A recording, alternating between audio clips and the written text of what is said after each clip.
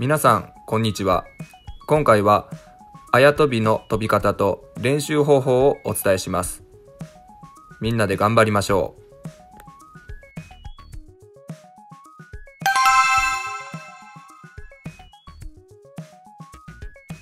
う。まず最初に縄を回す練習をします。縄を前に回した時に肘の位置で手をクロスして回しましょう。手首の位置でクロスをすると縄の中に入れなくなるので注意しましょう。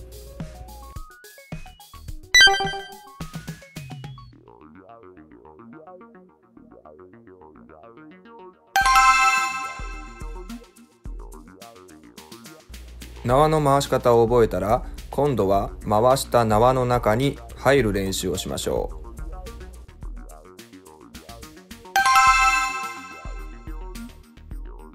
今度は両足で中に入ります。飛んだ後は頭の上に縄が来るように意識するといいでしょう。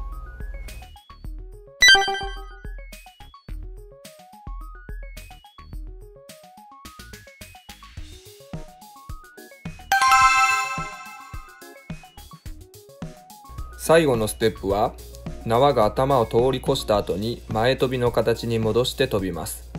これが一番あや飛びの難しいポイントです×で縄を飛んだ後に前跳びに戻す。タイミングが合ってくるとそれを続けて繰り返します。ここまでできたらもうあや飛びは完成です。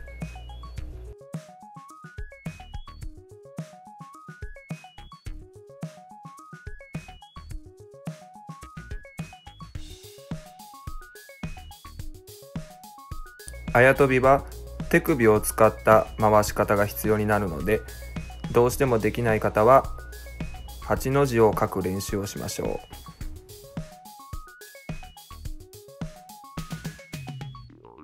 う。ここでよくあるつまずき。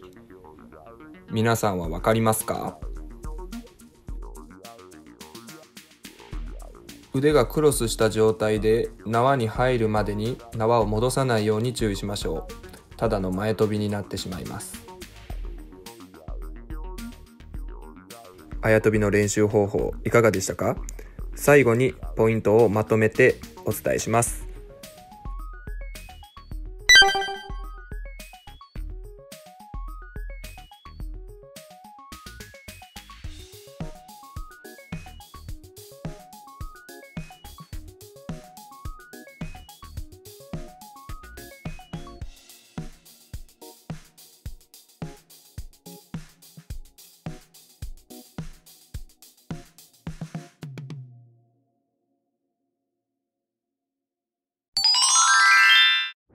あや飛びができるようになると二重跳びと組み合わせてはやぶさという技もできるようになります、えー、みんなで楽しく縄跳びを練習しましょう。